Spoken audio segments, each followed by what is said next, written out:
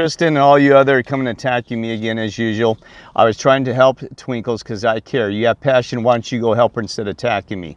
I love how you attack. That means you're on demon side, satanic side. You leave me alone, you get off my channel and you don't come back, you understand? Don't even watch my stuff because it's true facts. People like you, go help somebody across the street, go help somebody, help Twinkles or help uh, whoever, you know what I mean?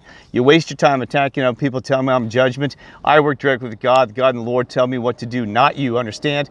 Nobody tells me what to do other than the Father in heaven, the Creator.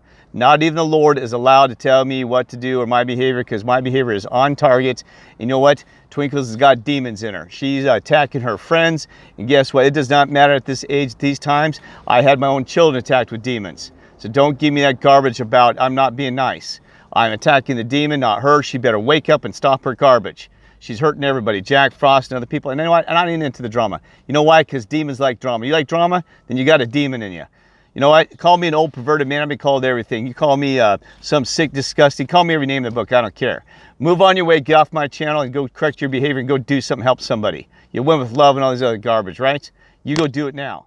I'm tired. I'll just take my channel down. You know what? Because I have true brothers and sisters out there real. You are not real. Get out of here. I'm sick of it. You have no idea what I've given and trying to help these children. And what are you doing? Going out attacking people or trying to help people? I don't care how it, you know, you spin it and tell me I'm judge. Oh, oh, you, you kidding me. You will not even say that. I said I, I should repent and sin. I've been said everything even by the churches. Bring it on. Tell me how bad a Kirk is because I have saved lives. What have you done? What have you done other than make uh, interact with people who are trying to help this world? Get off your butt and shut up, Tristan. Bye.